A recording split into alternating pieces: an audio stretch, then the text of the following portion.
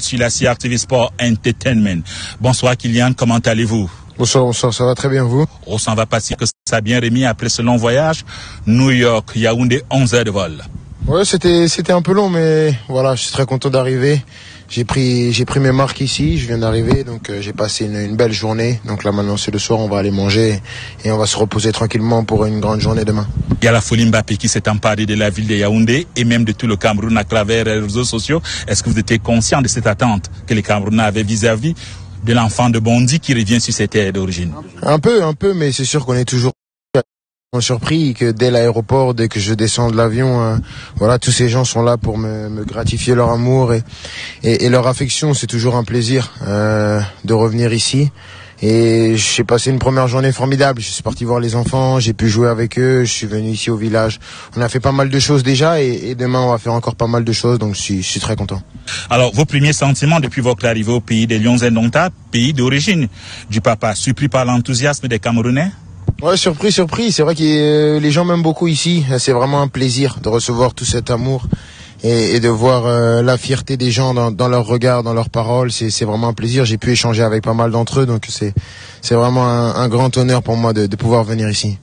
Un mot ou deux sur les raisons de votre séjour ici au Cameroun. On sait votre emploi du temps fort chargé. Il y a bien sûr les compétitions des clubs. Il y a eu la sélection nationale. Vous devez renfiler le bleu de chauffe. Le 17, un termine serré. Qu'est-ce qui justifie que malgré ce termine serré, vous ayez jugé quand même utile de faire un détour ici au Cameroun? Moi déjà, déjà je pense qu'avant tout, il y a un plaisir personnel de venir, de passer du bon temps. Euh, je pense que c'est un beau pays. Ensuite, euh, j'ai pas mal de choses avec ma fondation. On est venu ici, on est déjà parti dans, dans les écoles des sourds et muets. On a, on a fait pas mal de choses avec ma fondation, donc on est venu aussi pour ça aussi. Et après, bien sûr, euh, pour profiter, profiter du pays, de toutes ses saveurs et, des, et des belles villes qui composent ce pays magnifique. On connaît Kylian le sportif, le fabuleux joueur, peut-être la nouvelle vedette du football mondial, mais là on découvre un Kylian humaniste, Qu'est-ce qui vous pousse à sortir du champ sportif? On a visité cette école, l'émotion était assez vive de vous voir comme ça, apporter votre brin de solidarité. Oui, bien sûr. Je pense que je, le fais déjà beaucoup quand je suis en France, mais c'est important de le faire aussi ici aussi. Voilà, dans, le pays de mes origines. Donc c'est important de, venir, que les gens sentent que, que je suis réel, que j'existe, que je suis pas juste quelqu'un qu'on voit à la télé ou qu'on voit en photo. Donc euh, c'est pour ça que ça fait plaisir d'être au contact des gens, de, de voir les enfants, de pouvoir jouer avec eux. C'est vraiment un plaisir pour moi.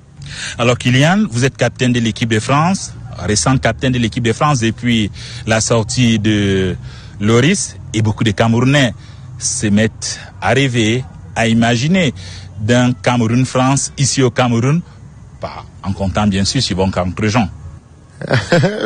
Pourquoi pas, pourquoi pas. Nous, on est des joueurs, on est toujours prêts pour pour jouer des matchs, euh, peu importe où, peu importe quand. Euh, jouer contre le Cameroun aussi, c'est une grande nation du football euh, au niveau africain, même au niveau mondial. C'est une nation qui est respectée. Donc euh, après, c'est pas moi qui organise les matchs, mais mais je pense que ça pourrait être une, une belle possibilité. En tout cas, si le match amené à à s'organiser, moi je serai là et je serai prêt à jouer et à prendre beaucoup de plaisir. Last but not least, Antoine Mavougra, pas tout comme la maman, on avait prévu trois questions, mais une dernière question, on va parler de votre trajectoire. On sait que c'est un enfant de Bondy qui est parti comme ça, qui a fait ses classes du côté de Monaco et qui est apparu du côté du PSG. C'est une trajectoire exceptionnelle. Vous avez cru à un moment donné que Kylian pouvait être sur le toit du football mondial?